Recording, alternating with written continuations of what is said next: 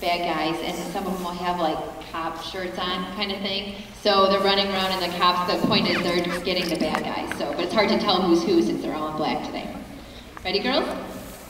No. Okay, music.